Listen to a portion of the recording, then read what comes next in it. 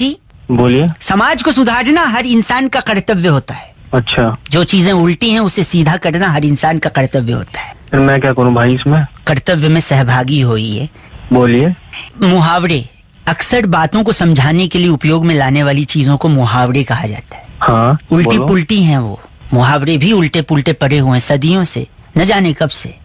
तो क्या हो गया इसमें? मिल के सीधा करें उसे। और ये किसने कहा तुझे करने को? एक सेल्फ इनर वॉइस भी होती है। ओहो। जैसे फॉर एग्ज़ाम्पल मुहावरा लीजिए कुत्ते को क्या हजम नहीं होता? पता नहीं यार। घी। कहते हैं ना कुत्ते को घी हजम नहीं होता एक मुहावरा। अच्छा। और फिर एक बंदर क्या जाने किसका स्वाद? अदरक का। अदरक का स्वाद। ठीक है बंदर के बारे में आपको पता है। ओ माय गॉड तो अब कुत्ते को अगर घी हजम नहीं हो रहा है तो आप क्यों खिला रहे हैं उसे? मुहावरा ये बनाना चाहिए कि बंदर को घी हजम होता है और कुत्ता जानता है अदरक का स्वाद। और आगे बढ़ता हूँ देखो ये तो दो मुहावरे। इसके बाद है अच्छा। भैंस के आगे वो मत बजाइए क्या? बीन। बीन।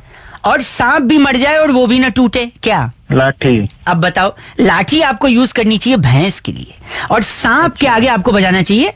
बीन। उल्टा कर दिया लोगों ने। तो तू सीधा कर लेना आराम से बैठ के समझा। किसी को मेरे को क्यों समझा रहा भाई? यही तो कर रहे हैं यही तो कर रहे हैं हम लोग। एक और शेर कभी घास नहीं खाता।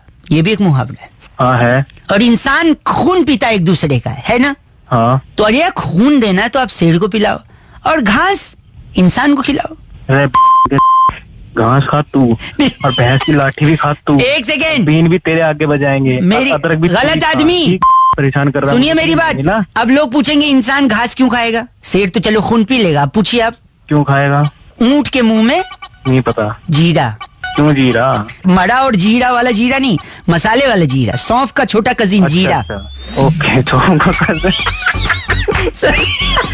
जब ऊँट आपका जीरा खा सकता है तो शेर का घास आप नहीं खा सकते। बताइए।